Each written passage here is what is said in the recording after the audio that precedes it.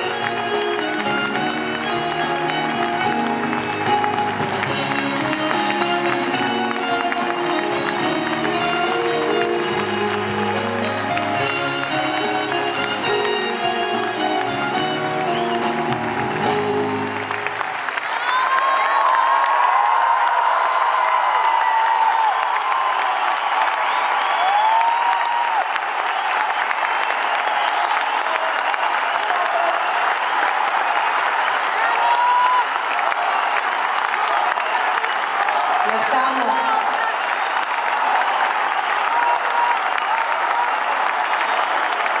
¿Cómo estar sin ustedes?